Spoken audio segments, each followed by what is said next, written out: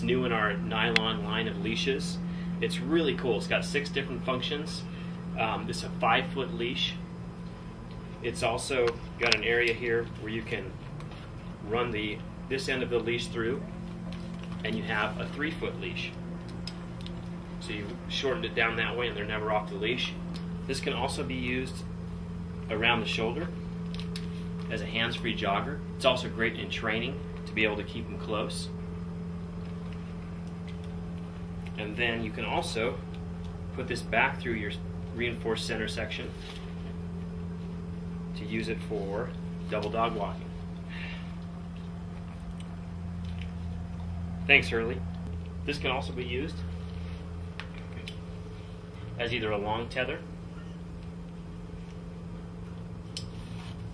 or a short tether for those dogs that are really trying to get away like Hurley is. This is the Vario 6 leash from EzyDog.